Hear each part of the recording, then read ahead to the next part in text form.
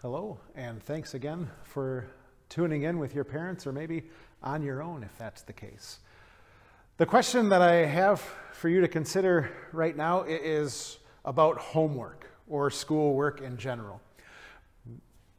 Let's narrow it down to say math class. When you're working on problems in math and, and you get to an answer, how confident are you?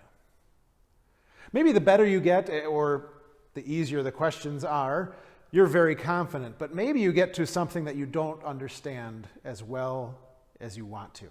And so as you get the answer, you wonder if it's right. What do you do? Do you ask the teacher? If you're in class, yeah. Maybe you're at home and you ask your parents. Maybe they're able to help. Or maybe you're with a friend who has the same class, the same assignment, and you know that they're really good at it, so you ask them. Sometimes that happens, not just in math class, but any class or any area in life. We, we come across things that we think we have it right, but we're not quite sure, so we need to ask someone else. In the gospel lesson, God takes care of that exact type of problem for his disciples and really for you and me. As I mentioned at the beginning of our service, maybe we're wondering if we're right about Jesus. We hear what he has to say, we listen to his teachings, we see the miracles, and maybe we come to a conclusion.